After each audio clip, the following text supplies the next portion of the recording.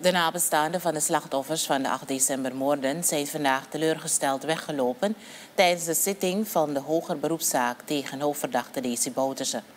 Henk Kamperveen, een der naverwanten, vertelde de journalisten dat het publiek van advocaat Erwin Kanhai niets voorstelde. Dit is een soort geschiedenisles of zo? Kunt u ons een beetje vertellen wat wie? Hebben jullie niet geluisterd? Wie geeft een geschiedenis? Nou, de advocaat.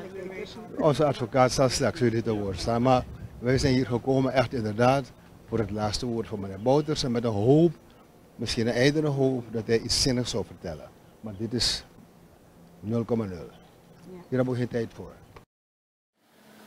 De nabestaanden wilden niet veel kwijt. Hoofdverdachte Rezi Bouterse vertelde journalisten dat het pleidooi van zijn advocaat goed was. Alle verdachten voerden vandaag het laatste woord. Bouterse stelt dat vanuit zijn kant de waarheid wordt gesproken. We gaan even nog een kleine evaluatie houden met uh, de advocaat en dan, wil ik heel erg beperken met de pers. Ik vind dat natuurlijk, uh, natuurlijk interessant dat de pers erg natuurlijk uh, belangstelling voor zo'n geroede zaak. Maar ik vraag een klein beetje, ik wil even afstemmen met... Nee, waarom u dat vragen? Enkele nabestaanden zijn weggelopen om te zeggen van ze hadden eigenlijk geen boodschap aan uw laatste woord. U gaf geschiedenisles.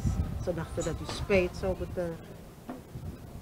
Ja, dat is, uh, is moeilijk natuurlijk om de waarheid vanuit een ander perspectief te, te bekijken.